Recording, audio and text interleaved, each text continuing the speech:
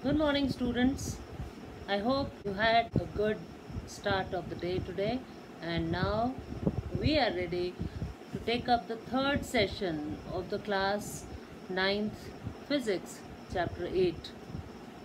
Last time we studied about acceleration, and uh, there was a speedometer in which we learned to use the graphs and how to find u v, acceleration etc this all was covered in the non uniform motion part.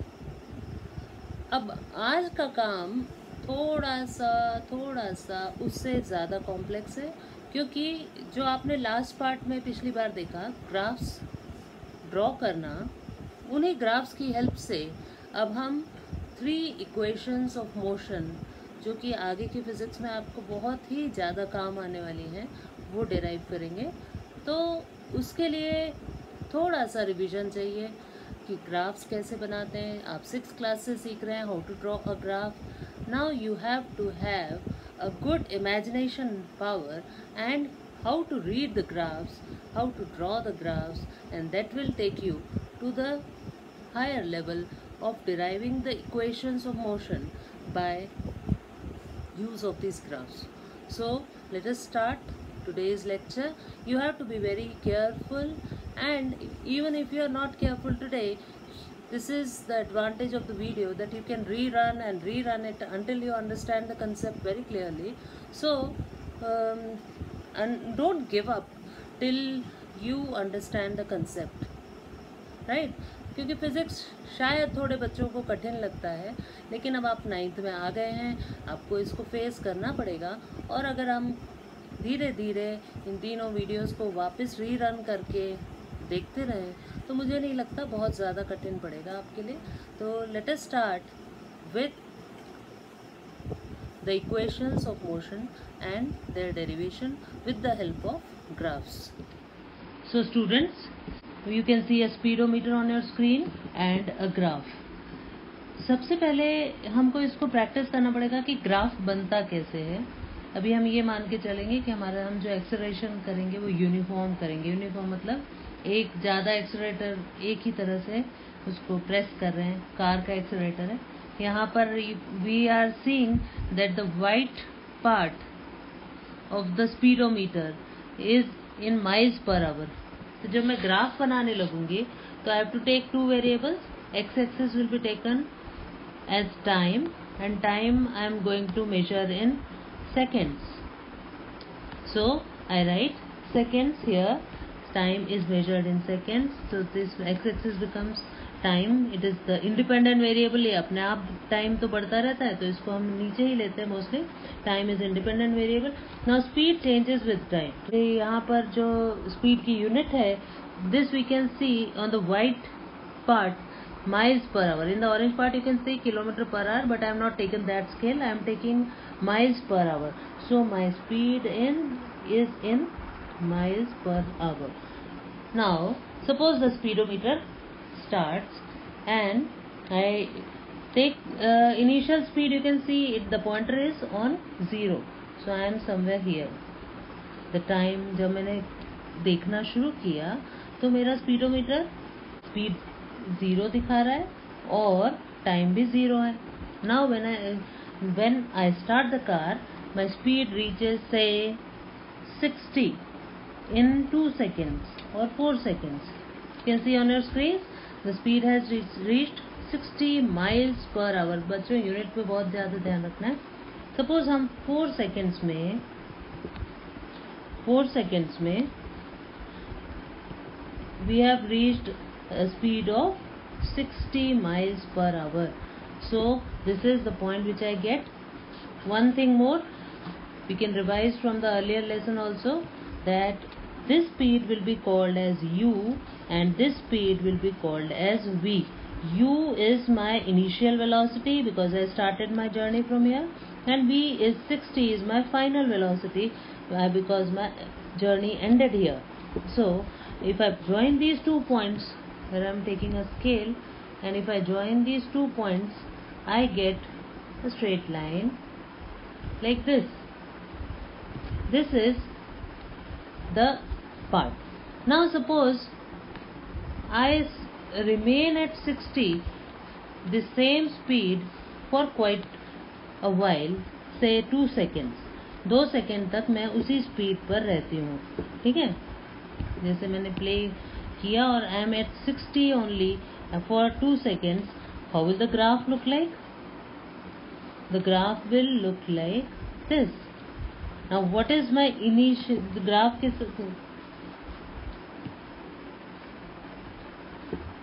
the graph will look like this because I started my journey here. This is my u. अब बताइए, u कितना हो गया? अब ये जो v था, अब इसको हम बोलेंगे u, क्योंकि मेरी स्पीड अभी कितनी थी? 60 और दो सेकंड बाद भी कितनी थी? 60 तो ये मेरा हो गया u और ये मेरा हो गया v. स्पीड वही रही. क्यों स्पीड वही रही? क्योंकि मैंने एक्सलरेशन नहीं दिया. The speed is constant this is uniform motion case.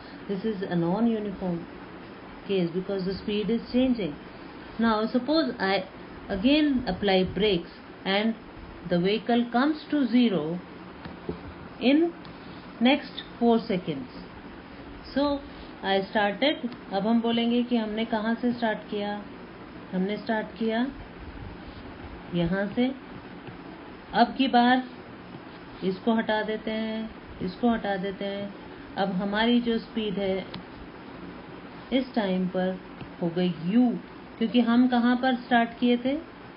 You पर। My initial speed was u sixty kilometer per hour you can see from here that my speed was sixty kilometer per hour and then I decrease my speed to zero within next three seconds देखिए आप ये time interval कितना हो गया? Three seconds ये time interval भी note करना सीखिए बच्चों the time interval here was two seconds the time interval from this part was four seconds time interval here the speed was increasing here the speed was not increasing and now I applied brakes and again you could see in the speedometer that my speed came back to zero I came at rest the vehicle came to rest and I join these two points and I get a straight line right? So this is my graph for the later journey.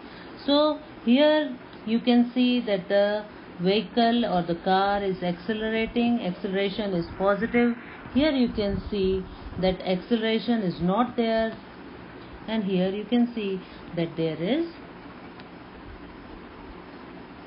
there is retardation that means जब भी retardation है, यानी कि speed कम हो रही है तो acceleration negative है। फिर से आप इस ग्राफ को पढ़िए।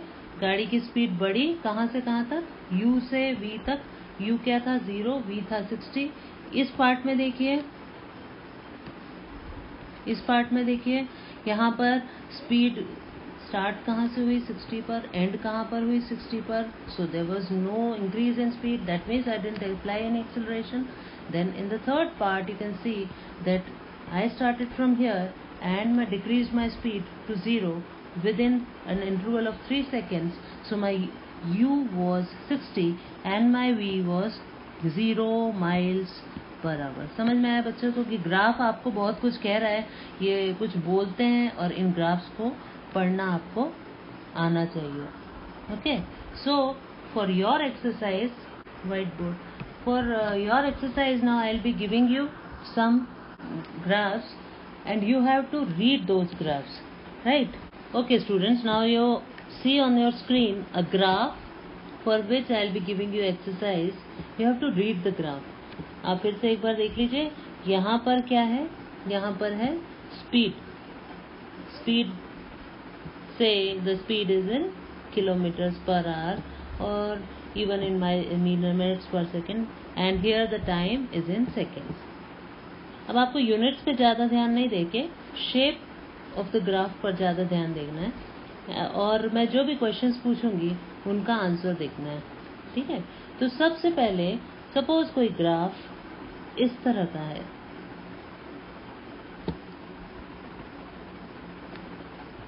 Okay, so what does this graph show? what does this graph show you can see here that this is the starting point so my initial speed is आपको नहीं पता इससे पूछिए ये बता रहा है 40 तो my initial speed is 40 kilometers per hour what is my final speed at the end of the journey it is again 40 kilometer per hour and what is the time interval of the journey the time interval is 10 seconds so t is 10 seconds u is 40 and but my question is you have not to uh, you have to tell what is the type of motion being indicated by this graph ये जो graph है ये क्या बता रहा है कुछ options अगर मैं दूं same speed increasing speed decreasing speed Uniformly decreasing speed uniformly increasing speed ये सब आपको बताना है। तो इस ग्राफ को देख के आपको क्या लग रहा है? यहाँ पर स्पीड थी 40 थ्री सेकेंड्स बाद भी स्पीड थी 40 सिक्स सेकेंड्स बाद भी स्पीड थी 40 और एट सेकेंड्स बाद भी स्पीड 40 थी। स्पीड में कोई बदलाव नहीं आ रहा है। क्या ये व्हीकल चल रहा है? यस व्हीकल तो चल रहा है, लेकिन उसकी स्पीड जो है, वो 40 किलोमीटर्स पर आवर ही रह रही है। ये जो बात है, ये बताता है कि इसमें जो एक्सलरेटर है, वो acceleration is zero and the uniform speed is there the speed is not changing so first graph is of uniform motion right अब एक चीज़ बताइए कि अगर यहाँ पर स्पीड की जगह थोड़ी देर के लिए लिख देती हूँ डिस्टेंस राइट अगर डिस्टेंस 40 किलोमीटर ही रहती है शुरू से आखिरी तक। तो मेरा ग्राफ क्या बताता है?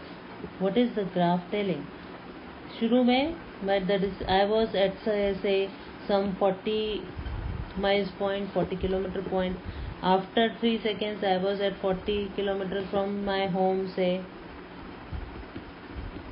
and again, after 7 seconds, I was at 40 kilometers away from home.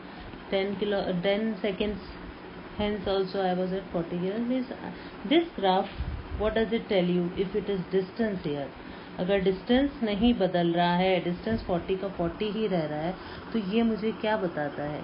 ये बताता है कि I am at rest my distance is not changing my position is not changing so I am at rest right so the second graph is telling me that I am at rest now what about the third part the third part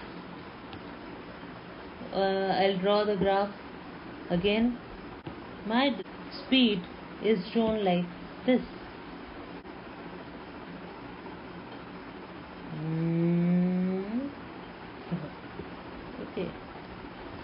ऐसे मैं sixty पे ख़त्म करना चाह रही so but I have ended somewhere above sixty so this is my initial velocity it is 0 this is my final velocity.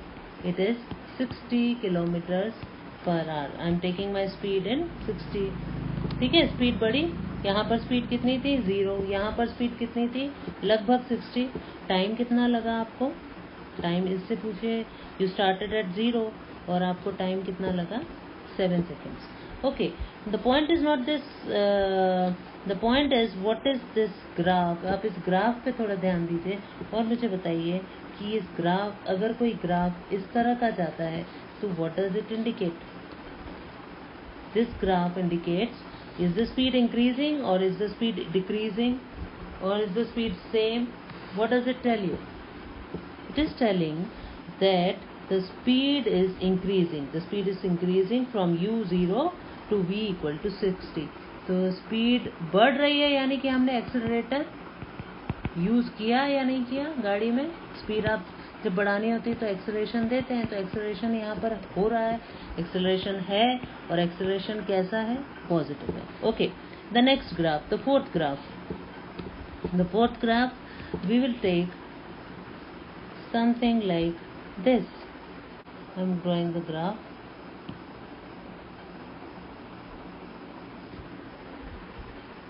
Four point five seconds. Okay, so here, what do you see? Forget about the earlier graph. Look at this graph. What is this graph telling you? This graph is telling you that u is 80 kilometers per hour this graph is also telling you that the final velocity is ये तो time है final velocity पूछने के लिए आप इनसे पूछिए final velocity zero and the time taken is this time it is the time taken is 4.2 seconds I see 4.2 seconds time लगा। लेकिन फिर से हम ग्राफ के शेप पर आते हैं। ग्राफ कैसा आ रहा है? नीचे की तरफ़। ग्राफ कैसा आ रहा है? इस तरह से कुछ। तो ग्राफ नीचे आ रहा है, यानी कि मेरी स्पीड क्या हो रही है? जब ग्राफ नीचे आता है, यानी कि स्पीड जो है वो क्या हो रही है? Decrease so fourth graph is telling me that the speed is increasing speed is increasing and the acceleration is negative I call it retardation. Retardation. Right, students? So, ये जो ग्राफ है, ऊपर जाना स्पीड नीचे, ऊपर आना एक्सलेशन है, नहीं जान स्पीड का सेम रहना और स्पीड का कम हो जाना एक्सलरेट होना एक्सलरेट नहीं होना, और ये आपको बहुत अच्छे से क्लियर होना चाहिए। एक और ग्राफ बता दीजिए। एक ग्राफ और बताएँ। अगर मैं ग्राफ को ऐसा बनाऊँ,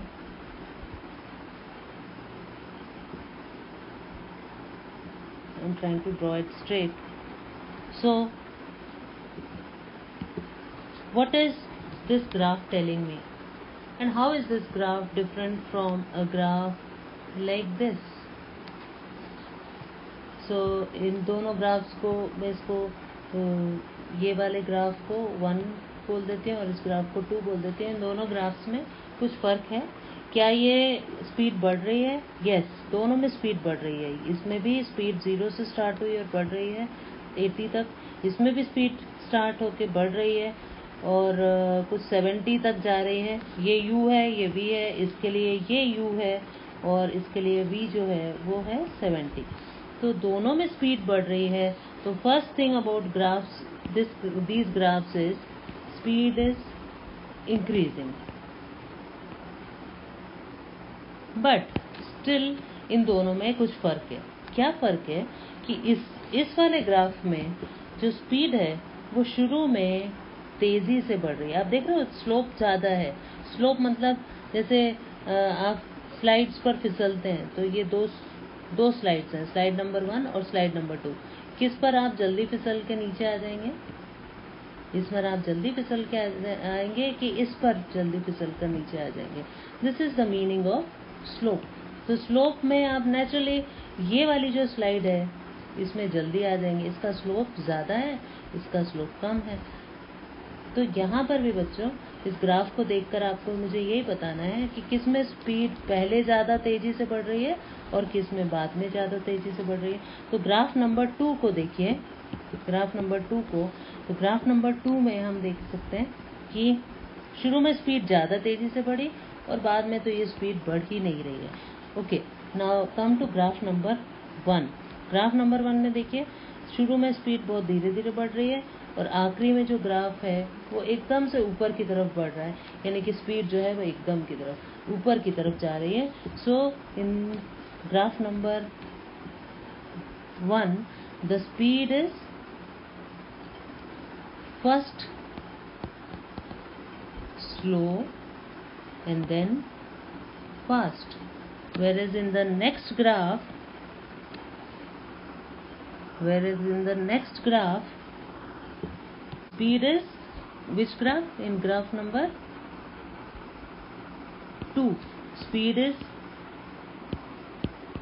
initially speed is initially increasing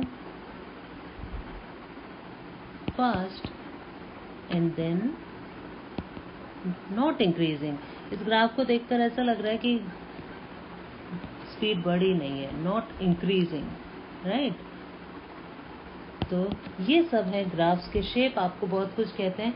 Okay one last graph to give you some more practice is what does this graph tell you let me divide it into three part one two and three part what is the first part telling you the first part is telling you that the speed is increasing the second part is telling the speed is decreasing the third part is telling you that the velocity is increasing speed or velocity is increasing in magnitude right so this acceleration is positive then speed is decreasing speed कम हुई यानी acceleration आपने retardation लगाया होगा speed is negative so so this is students the next topic is the use of velocity time graph the use of speed time graph और velocity time graph ये graph हमारे किस काम आते हैं? तो देखो, जब भी कोई ग्राफ बनाया जाता है तो उसमें दो चीज़ें होती हैं। एक तो होता है स्लोप स्लोप मीन्स ज़्यादा स्लोप कम स्लोप नो स्लोप ज़्यादा स्लोप कम स्लोप नो स्लोप और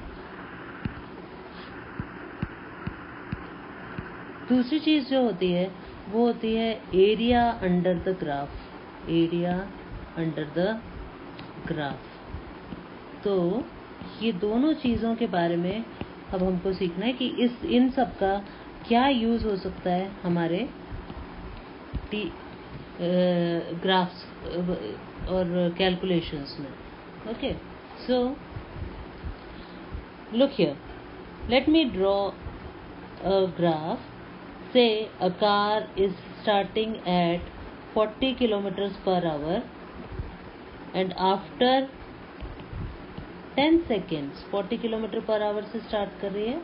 और after ten seconds forty kilometre चलते चलते चलते, वो उसी स्पीड से चलते चलते यहाँ पर आकर हम जर्नी एंड करते हैं। So the time interval is ten seconds right so यहाँ पर इस ग्राफ का क्या यूज़ है? इस ग्राफ से हम डिस्टेंस निकाल सकते हैं। ये है कौन सा graph? Speed time graph but with the help of this graph we can find what distance is travelled by this car the slope students tells me the acceleration as you have done in the previous talks अभी जो हुई, और area under the graph gives me the distance travelled how ये कौन सा graph है? ये graph जो है, ये है velocity time graph velocity time graph है और इससे हम क्या निकालने जा रहे हैं? डिस्टेंस इसके स्लोप से हम एक्सलेशन कैसे निकालते हैं वो भी थोड़ा सा हम देख चुके हैं but right now we are concentrating upon area under the graph so suppose मैंने आपको बोला कि कार जो है तीन सेकेंड से लेकर दस या से नाइन सेकेंड्स तक कितना डिस्टेंस चली, ये बताइए। The problem is the how much the car travelled from three seconds to nine seconds ये बताइए। तो ऐसे में आपको क्या करना पड़ेगा? बहुत मज़ेदार चीज़ कीजिए। आप, ये जो ग्राफ है, ये क्या है? ग्राफ ग्राफ क्या बता रहा है कि कार एक ही स्पीड से चल रही है? कितनी स्पीड से? 40 किलोमीटर पर आवर और कुछ दूरी कवर कर रही है। So let us find the distance तो आप इस ग्राफ से जो टाइम दिया हुआ है, कहाँ से कहाँ टाइम दिया हुआ है आपको? टी इक्वल टू थ्री से टी इक्वल टू नाइन तक। यहाँ पर क्या गिरा दीजिए? बारिश गिरा दीजिए। ठीक है? ये बारिश गिरा दी। ये जो एरिया आपका आया है ये जो एरिया आपका आया अंडर द ग्राफ इस ग्राफ का अंदर जो एरिया आ रहा है, ठीक है, ये मैं हाईलाइट कर रही हूँ, ये जो एरिया है ऑलमोस्ट जो मैंने कवर किया है, ये जो एरिया है, ये आपको बताता है डिस्टेंस ट्रेवल्ड ये बता रहा है आपको डिस्टेंस ट्रेवल्ड मतलब जो ग्राफ के नीचे जो एरिया आया है, देखिए ये एक रेक्टेंगल के फॉर्म में है तो ये आपको बता देगा कि डिस्टेंस कैसे। सो सीधे ग्राफ से हम डिस्टेंस ट्रैवल करेंगे डिस्टेंस ट्रैवल निकाल लेंगे। So look at this what is the area of this graph see the shape तीन से नौ सेकेंड्स के बीच में जो बारिश की और जो हमारा एरिया कवर्ड आया, वो कितना आया? वो एक रेक्टेंगुलर एरिया आया। तो जो डिस्टेंस ट्रैवल्ड है, वो हम निकाल लेंगे एरिया ऑफ़ रेक्टेंगल से area of rectangle now what is the area of rectangle what is the formula length into breadth now look here what is the length of this triangle it is 3 से 9 तक कितना लंबा हुआ it is 6 seconds what is the breadth of this triangle uh, rectangle it is 40 so the area comes out to be थोड़ा सा units का problem है, आपको सेकंड्स को आवर्स में करना पड़ेगा। तो यहाँ पे जो लेंथ आ गई, वो आ गई नाइन माइनस थ्री यानी कि सिक्स सेकेंड्स और ब्रेथ आ गई आपकी फोर्टी किलोमीटर्स पर आवर अगर मैं सेकेंड्स को आवर्स में करूँ तो वो हो जाएगा divided by thirty six hundred and that converts this into hours अब आवर से आवर कट जाएगा और आपका जो आंसर आएगा, वो जो भी आएगा, वो आ जाएगा किलोमीटर्स में तो just by finding the area under the graph we can find out the distance travel समझ में आया बच्चों? तो स्पीड और टाइम ग्राफ से हम इस तरह से डिस्टेंस निकाल सकते हैं। अगर हम इसके स्लोप की बात करें तो स्लोप जो है, वो हमें एक्सेलरेशन बताता है। अब इस ग्राफ में आप देख सकते हैं कि स्लोप है ही नहीं। तो एक्सेलरेशन कितना हो गया? ज़ीरो एक्सलेशन हो गया. ज़ीरो कोई स्लोप नहीं है मतलब स्पीड बढ़, ना बढ़ रही है, ना कम हो रही है, ना ऊपर जा रही है, ना नीचे आ रही है स्पीड तो कैसी चल रही है? बिल्कुल सेम चल रही है.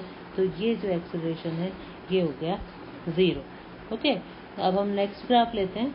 नेक्स्ट ग्राफ में हम ये देखेंगे कि शेप थोड़ा सा अलग होगा और फिर से आप वही प्रैक्टिस करेंगे कि how to find the distance okay so यहाँ पर हमने फिर से स्पीड ले ली किलोमीटर पर आवर में, यहाँ पर हमने टाइम ले लिया। टाइम किसमें ले लिया? सेकेंड्स में। बेटा, ये यूनिट्स लिखने की आदत अभी से आपको होनी चाहिए, ताकि यूनिट्स ठीक से लिखेंगे, तभी आपका प्रॉब्लम सही सॉल्व होगा। सो लेट अस सपोज़ कि एक कार um, है वो ज़ीरो की स्पीड पर है. That is the initial velocity is zero rest पर है. इसके बाद चार सेकेंड्स में वो अपनी स्पीड बढ़ाती है और चार सेकेंड्स बाद it reaches speed of darker colour it is it reaches a speed of four kilo it कितनी स्पीड पे पहुँच गई? ये आपको खुद बताना आना चाहिए speed is 80 kilometres per hour 80 kilometres per hour चार सेकेंड में उसने अपनी स्पीड बढ़ाई और वो कहाँ पहुँच गई? 80 किलोमीटर्स पर आवर पर। ठीक है? तो अब हम फिर से वही क्वेश्चन पूछते हैं कि what is the dis what is the distance travelled by the car in these four seconds आपको ग्राफ की हेल्प से बताना है। कहीं भी डिस्टेंस नहीं दिख रहा है। अब आपको इस ग्राफ की हेल्प से बताना है, जहाँ पे स्पीड टाइम ग्राफ लिखा हुआ है। ये ग्राफ से बताइए कि what is the distance travel okay फिर से वही बात करते हैं। यहाँ से बारिश गिरा देते हैं। हमारा टाइम क्या है? ज़ीरो से फोर और ग्राफ कहाँ है? ये। तो we have to find out the area under the graph अभी मेरा ये ग्राफ है और ग्राफ के नीचे का एरिया मुझे निकालना है। So I visualise it at as the rain is falling from the graph and it is covering an area of let me show it with highlighter ये जो है, ये एरिया इसने कवर किया किसने? ग्राफ ने। टाइम एक्सिस और speed axis के बीच में इतना एरिया कवर हो गया right students so we will now see what is the area under this graph because if I find the area that will straightforwardly give me the distance. So area under this graph is because it is a triangle so area under this graph is the area of the triangle the area of the triangle what is the area of the triangle it is by formula it is half into base into height अगर ये आपका triangle है तो ये हो गया आपका base ये हो गई हाइट और जो एरिया है एरिया वो हो जाता है। सो so, एरिया हो जाता है half base into height so let us calculate with the help of graph what is the base of this graph base of this graph is this much it is 4 what is the unit? Seconds. And what is the height of the graph? What is the height of the graph? It is 80 kilometers per hour. अब 80 kilometers per hour. Now hours and seconds don't go together. So let us divide it by 3600 and convert it into hours. 3600 this, this gives me the conversion of seconds into hours and whatever the calculation is hour gets cancelled by hour the answer what I get will be in kilometers. So this is the way we can calculate the distance using a speed time graph. Okay? So uh, I hope all these concepts uh, are clear. Now can you find acceleration for these 4 seconds. Acceleration with the help of graph. डरने की कोई ज़रूरत नहीं है। Acceleration के लिए हमको formula पता ही है। V minus u upon t v कितना है? जो आखिरी में था 80 ये है आपका v. U कितना था? जो ग्राफ के शुरू में यहाँ पे था, ये ये फाइनल ये इनिशियल तो u कितना था? ज़ीरो था। आप इससे पूछिए। U ज़ीरो है। टाइम कितना लगा? 4 seconds and 4 seconds have to be converted into hours so I divided by 3600 and whatever I get that is my acceleration and what is the unit kilometer per hour square ठीक है तो acceleration हमने slope से निकाल लिया slope से और जो एरिया है उसकी हेल्प से हमने डिस्टेंस निकाल लिया okay so students this was the use of graphs now we come to the main aim of today that is deriving the equations of motion. There are three equations of motion. One, first one we have already talked about. It was v is equal to u plus at then we'll derive the second equation and then the third equation. So let us first derive the first equation. Now for this consider for deriving first equation consider an object with initial velocity initial velocity u. It accelerates uniformly for time t for time t and reaches a final velocity v. Now in the graph in the graph we can show it like this. Suppose the body starts moving it will be accelerating uniformly. Initially its velocity is u initially, its velocity is here. It is being shown here u and finally, after time, वो अपनी speed बढ़ाते बढ़ाते, कहाँ पर पहुँच जाता है? B पर. बी पर. ठीक है? तो ये मैंने ग्राफ से बताया हुआ है कि हाँ ये एक ऑब्जेक्ट है जो अपनी स्पीड बढ़ाकर ए से बी तक गई। इसकी स्पीड यू शुरू में यू थी और आखिरी में स्पीड वी थी। Now we have to find the first equation of motion right now what is the definition of acceleration acceleration is equal to change in speed change in velocity what is the change in velocity change in velocity can be used uh, found by using this graph it is this change in velocity शुरू में u थी और बाद में v हो गई तो change in velocity is v minus u you also know it by formula v minus u upon t time कितना लगा t ये जो है, ये हो गया आपका टाइम टाइम लगा t if I cross multiply this I get v minus u is equal to a t और v is equal to u plus a so this is my first equation that we had already derived the other day and now we will come to the second equation of motion deriving the distance time relation displacement time relation जो second equation है, वो है s is equal to u t plus half a t square ये जो equation है, अब आपको बच्चों ये याद भी करनी पड़ेगी। तो ये जो इक्वेशन है, इसको हम अब डिराइव करेंगे। किस डिराइव करना में सब will find it out with the help of this graph okay so let us start doing this अब हमने ये पढ़ा है कि when the graph is between velocity and time when the graph is between velocity and time the area under the graph the area under the graph will give me the displacement और the distance numerically the distance will be given by this graph so to find out s मतलब यहाँ पर क्या लिखा हुआ है? Displacement vector भी लगा सकते हैं इन सब पर। वेक्टर ये बताता है कि इनकी डायरेक्शन भी होती है।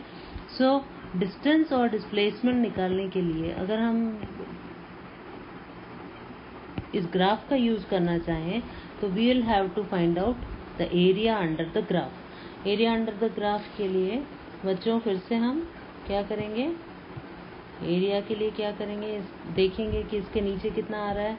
ये हमने area under the graph find करने की कोशिश की।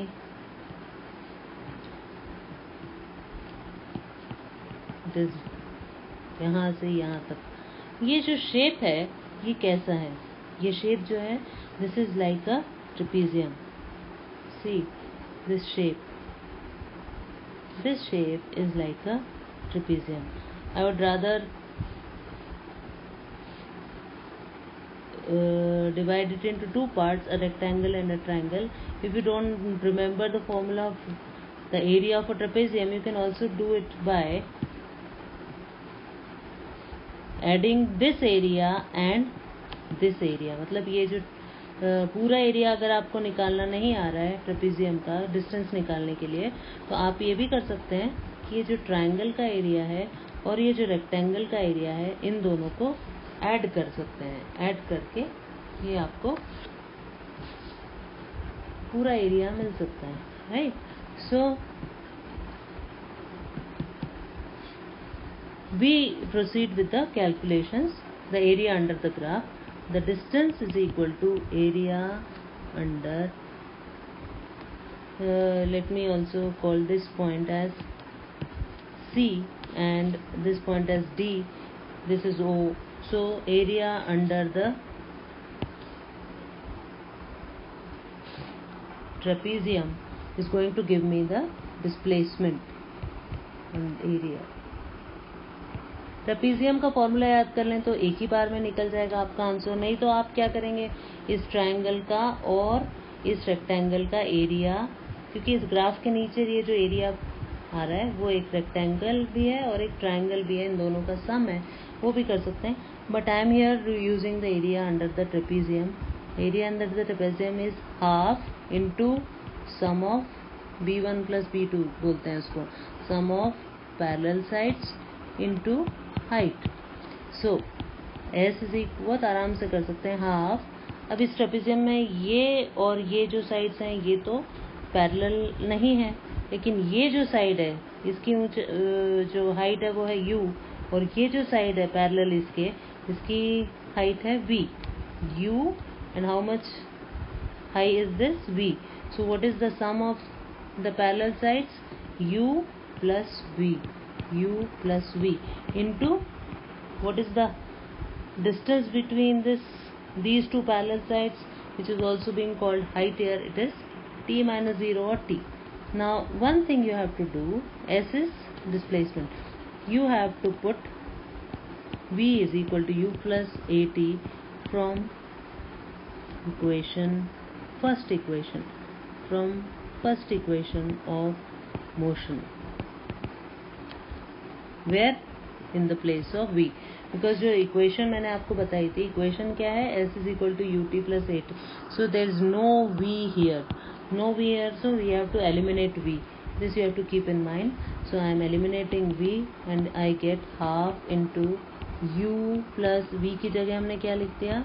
U plus a t into t इसको आप सॉल्व करेंगे तो u plus u gives me two u बच्चों, आप इसको नोट भी करते जाइए क्योंकि आप बाद में इससे पढ़ भी सकते हैं।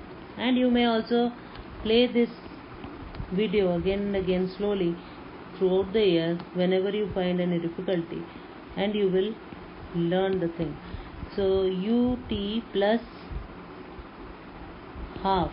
This half gets multiplied inside and you get s is equal to ut plus half at square. This is your second equation of motion. Now going for quickly to the third equation of motion because you must be losing patience now. Third equation is v square minus u square is equal to 2as what don't you find here? You don't find time here. So this time we are going to eliminate t. Eliminate t. So let us from the first equation from the first equation take t is equal to v minus u upon a and put it in the area formula area formula right where area formula कहाँ पर है area का formula आपका आया था ये वाला इस एरिया के फॉर्मूले में हम रख देते हैं तो ये मेरा फॉर्मूला है S is equal to half sum of the parallel sides again area निकालना है तो ये ये वाला और ये पैरेलल साइड्स को हमने ऐड कर दिया। ये है मेरी स्टार्टिंग वेलोसिटी u फिर ये है मेरी फाइनल वेलोसिटी v और इनके बीच की जो डिस्टेंस है वो है t so so,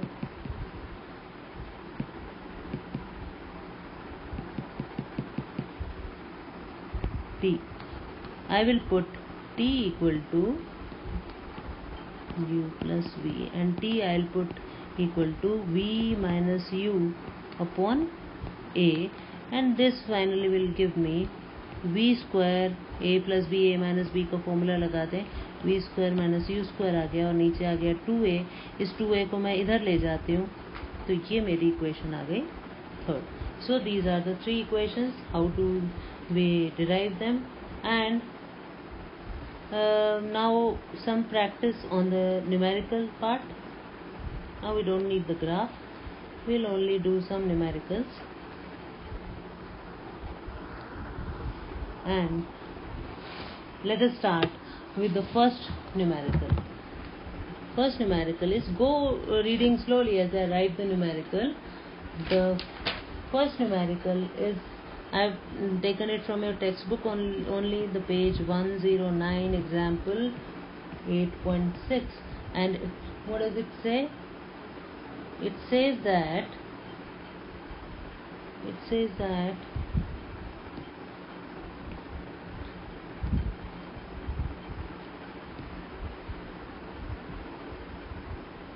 a trains थोड़ा सा मैं शॉर्ट कर रही हूँ आप लैंग्वेज वहाँ से पूरी देख सकते हैं। ट्रेन स्टार्टिंग आप अपना गिवन वाला पोर्शन स्टार्ट कर दीजिए। और I should see in the comment box what is my you train starting from rest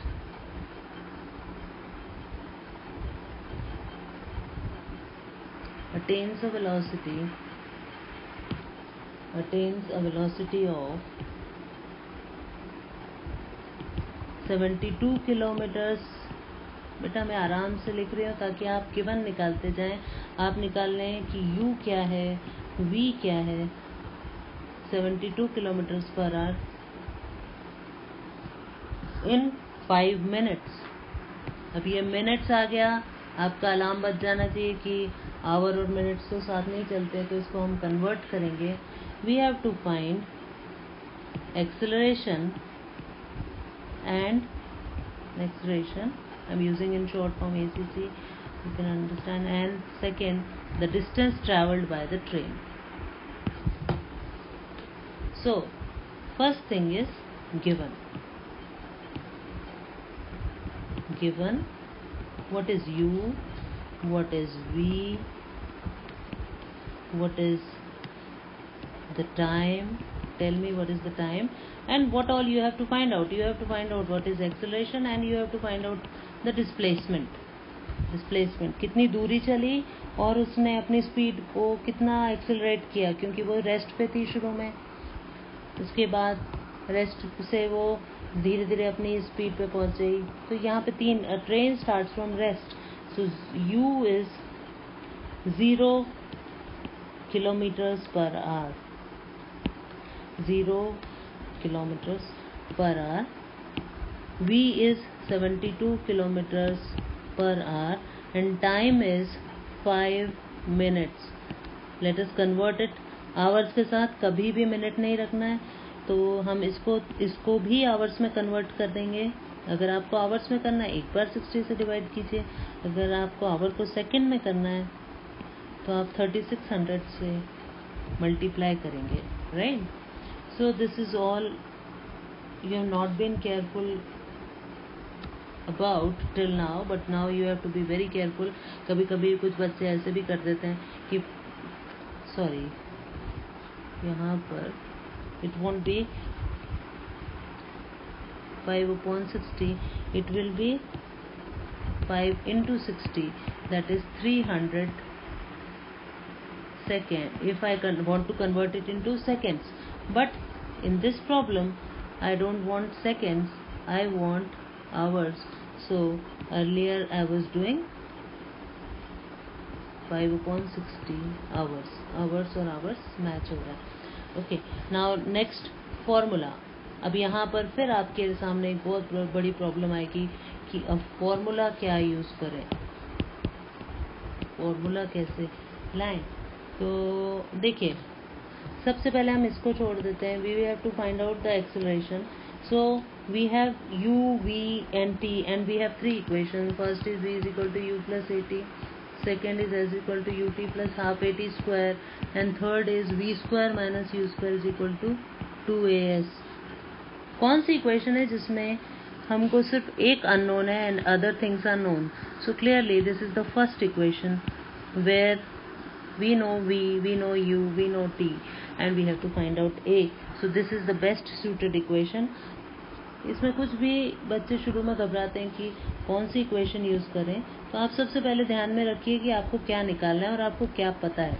हमें पता है वी यू ए और टी और हमें निकालना है वी यू टी पता है और ए निकालना है। So will use the first equation which is which also gives me uh, okay a, u plus at is equal to v. Alternately we can write it as a is equal to v minus u upon t. And then do the calculations which are very simple now. 72 is my v u is 0 and the time is 5 upon 60 so whatever the calculations are it gives me the answer and uh, it comes out to be 1 by 15 metres per second square ये बाद में convert किया है इन्होंने अगर हम इन सब चीज़ों को इस तरह से करते तो बुक के हिसाब से 1 by fifteen metres per second square आ जाता। यदि इसको मैं ज़ीरो मीटर्स पर सेकेंड ले लेती और इसको अगर मैं 20 मीटर्स पर सेकेंड ले लेती कन्वर्ट करके कन्वर्ट कैसे करते हैं? 72 को? आप कन्वर्ट कैसे करते हैं? आप इसको थाउज़ेंड से मल्टीप्लाई करेंगे और थर्टी सिक्स हंड्रेड जब आप थोड़े से और एक्सपर्ट हो जाते हैं तो सीधे फाइव बाई एटीन से मल्टीप्लाई करेंगे। एटीन फोर ज़ा seventy two and four five ज़ा ट्वेंटी तो फाइव बाई एटीन से मल्टीप्लाई कीजिए। Five by eighteen is the conversion factor right so this is how I find out the acceleration यहाँ पर हम ट्वेंटी माइनस ज़ीरो करते थे तो हमारा ये आंसर आया था। तो alternately I could also do this question by a is equal to twenty metres per second upon कितने मिनट्स थे? फाइव मिनट्स थे। उसको सेकेंड्स में करते तो इंटू सिक्सटी आ जाता। और ये आ जाता आपका one by fifteen metres per second square to find out the distance we can use u t plus half a t square also और दूसरी इक्वेशन भी यूज़ कर सकते हैं। अब मुझे एक्सलेशन पता चल चुका है। तो डिस्टेंस मैं इससे भी यूज़ कर सकती हूँ।